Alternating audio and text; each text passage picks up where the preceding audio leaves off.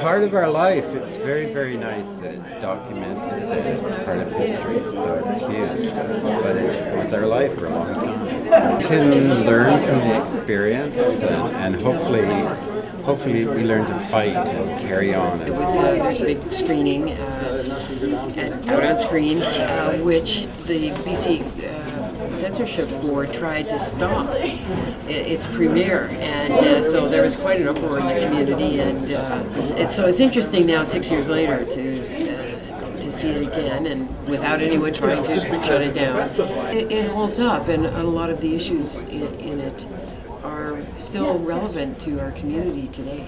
You know, I think this is just an incredible testament to Aerlyn Wise and her filmmaking skills and just how lucky we are as a community to have something like that being documented for someone having that kind of commitment to it. But I think it's also, this is an amazing festival.